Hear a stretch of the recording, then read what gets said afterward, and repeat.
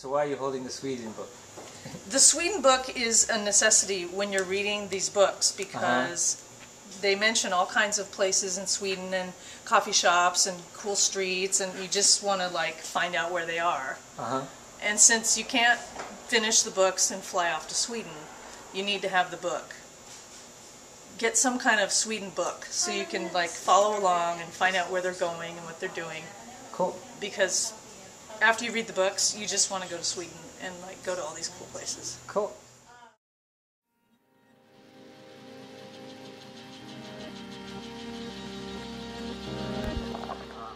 They're addictive, yes, exactly. And I was, you know, I was uh, in a craze reading these things. Uh huh. And um, the third one isn't even out in the U.S. until May, I don't think. Uh huh. And luckily, I had a, a friend from Ireland who had the third one, and I called her up and I said, you know, I need your book. Right. I, I heard the author died. He did. He apparently died after he submitted. Yeah, it's true. It's very sad. That's Um, awful. You, I personally really wanted to know the author and like Uh-huh. pick his brain. I mean, it's just everything about these things. You want to know everything about. Uh huh. Like, what was the author doing? What was he doing? How did he write so well? How did he die? I'm not sure. I'm not sure. Did he kill himself? No, I don't think he did. Hmm. Um, I haven't done the full research yet. I know it's sad. You'd think It is sad. I mean, there's lots of artists who they, they don't become famous till after they're dead. it's true. It's, true. What's his name? Bolaño. That happened to Bolaño. Right, right. You know, Yeah. all those painters. Right. Van Gogh. Yeah. Yeah, he didn't cut his ear off. He didn't do any of that. I think he had a heart attack is what happened. oh, that's sad. Yeah. And he was in his 50s. Ah, that's so young. It's really tragic. I know.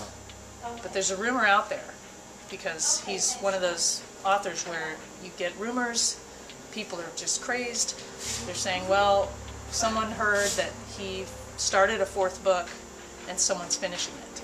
Uh huh. So, of course, that'll be the new thing finding the fourth book. Finding the fourth book. But as far as I know, the third book will be published in the U.S. in May. Mm-hmm. Yeah. and uh, hopefully I will reach lots of people in the internet world that will run out. And if they're within a 20 mile radius, will come to Diesel and buy this book. Right on. And then I think the paperback for the second one is coming out The 23rd, isn't it? 23rd of. Of uh, this month, March. Oh, good. Yeah, Yeah. 23rd March. something. Yeah, very Yeah. exciting. I might reread it. I might just reread the second one because I, that was my favorite of Uh-huh. the three. Uh-huh. But you And what's do, that called? That's called the girl who played with fire. Cool. Yeah. So be sure and get the book and a travel book on Sweden when you buy the first book. Because, and then when you finish the third book, Yeah. get a ticket to Sweden.